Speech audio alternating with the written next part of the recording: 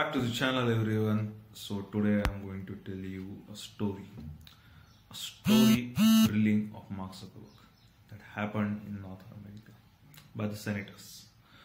Guys, if you relate to technology, if you follow technology closely and if you are interested in technology, then you must be aware that the Cambridge data breach after that what happened is world got to know that the data is not safe on Facebook and their data is being leaked on Facebook for their personal uses. So after that, he got call from the senators and he got roasted for five hours. That's it, right, my friend? That's what happened. He ditched his t-shirt and jeans. He was suit up and uh, well prepared and he behaved like a proper CEO of Facebook. That is the logo I am CEO bitch what he says. And he proved it, which resulted in a raise in his stock by three billion dollars. Yeah, that's right, my friend, three billion dollar. Because everyone thinks that he answered the question very well. But what's exactly happening is that Facebook is using your data for the mind manipulation and converting your school of thoughts and touching it in, in a way that no one ever did. So how it works in simple language में बहुत ही आसान भाषा में आपको समझाना चाहता हूँ। अगर ये आपके लिए बहुत कॉम्प्लिकेटेड हो रहा है तो।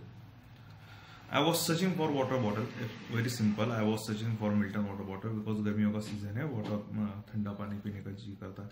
So I was searching it on Amazon and later on when i opened the facebook i got this. So i got a suggestion suggested post which ad showing uh, post from amazon of milton water bottle. I'm a guitarist. I play a lot of uh, guitar and i hear a lot of music.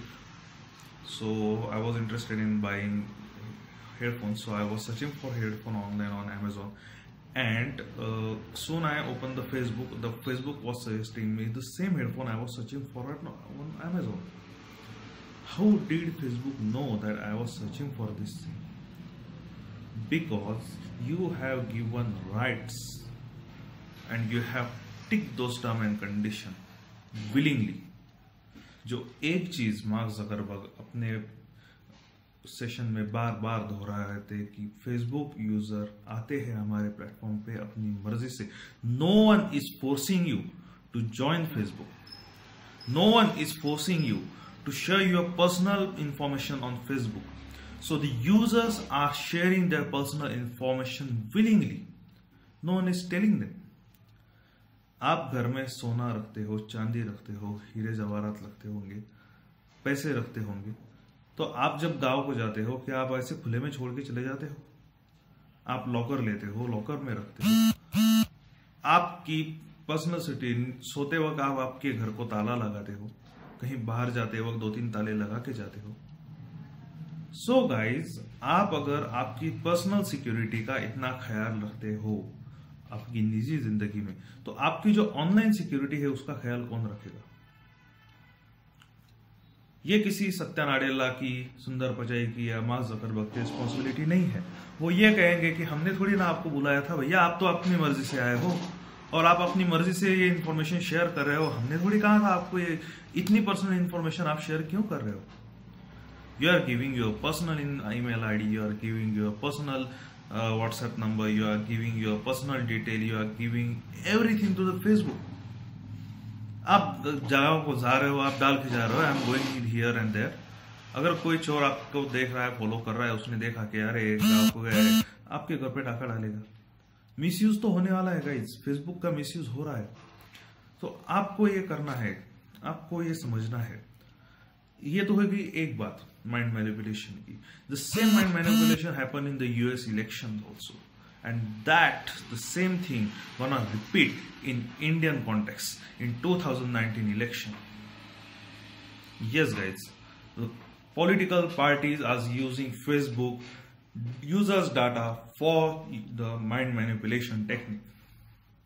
They're gonna observe you and they're gonna manipulate your mind in a way that you will vote them.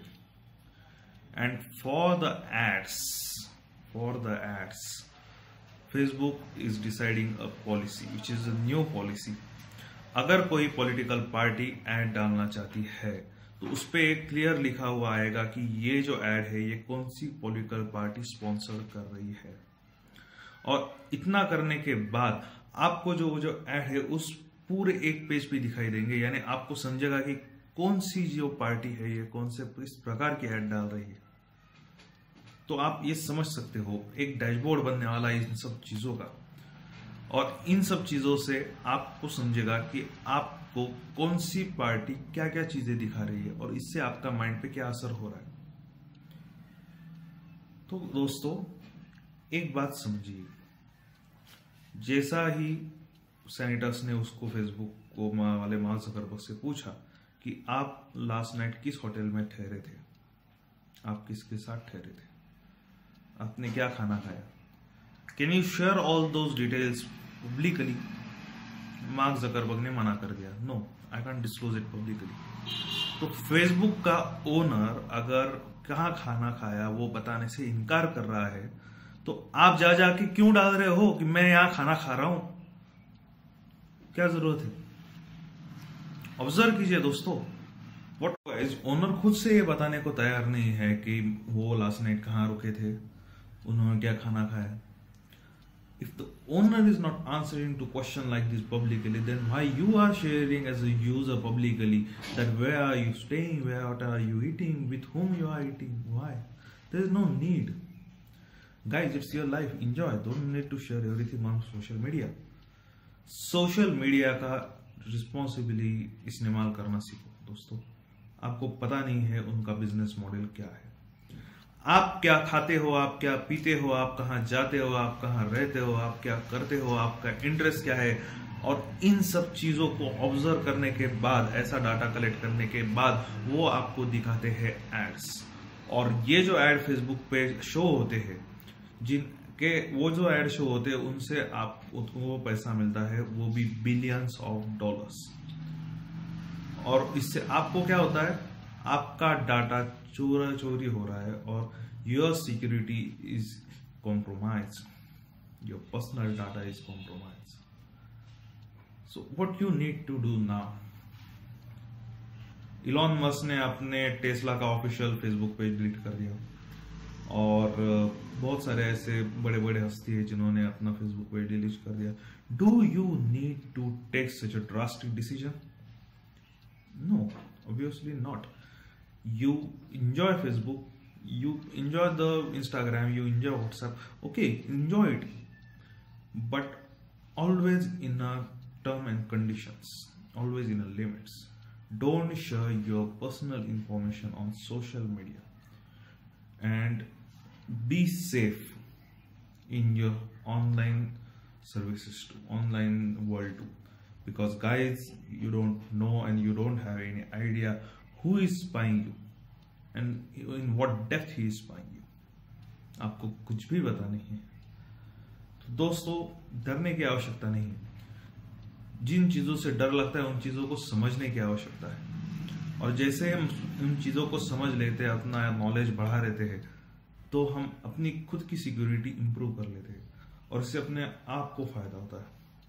और इसीलिए आप सबको aware करने के लिए और आपको reality से रूबरू कराने के लिए मैंने आज का वीडियो बनाया।